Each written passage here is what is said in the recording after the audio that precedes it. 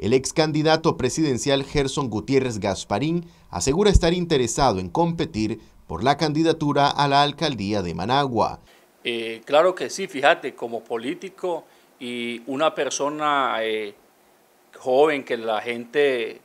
Eh, lo más que me llama la atención aquí es es que la gente cuando andas en la calle, o sea, la gente ya te reconoce y te mira como con un espíritu de alegría y te dice, necesitamos que vos participés. Y la gente te dice, ahora vas por Managua. Entonces yo le digo, espere, espere, estamos trabajando duro ahorita.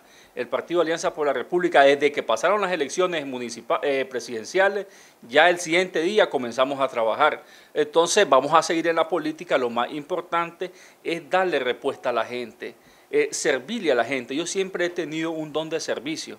Y cuando uno tiene un don de servicio, de la mejor forma que le puede servir a la gente es dentro de la política explica que se prevé un proceso de elecciones primarias en su partido, pero aún no se han definido los términos. Mira, eh, la gente lo está pidiendo, pero el Partido Alianza por la República es un partido abierto a, las organizaciones. Yo soy miembro del Partido Alianza por la República, soy el encargado de asuntos jurídicos del Partido Alianza por la República, y lo que pasa es que a veces vienen lo que son la, este, otros partidos eh, organizaciones. Entonces, nosotros como partido político lo que hacemos es darle oportunidad a aquellos que no tienen una cobija o no tienen un partido político.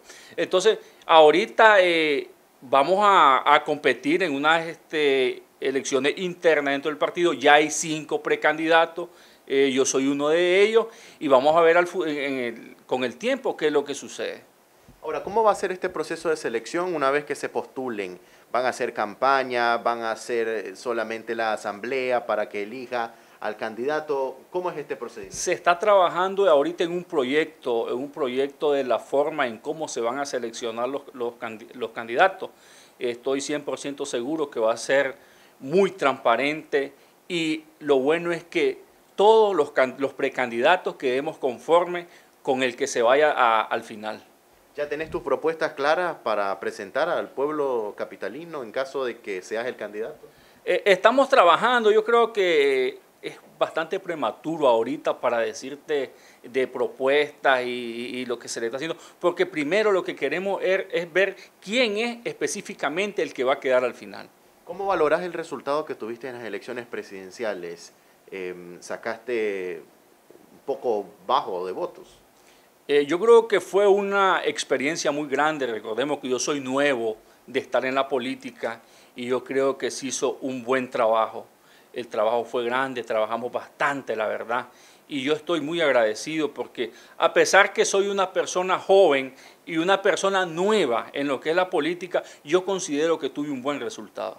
Marcos Medina, Noticias 12.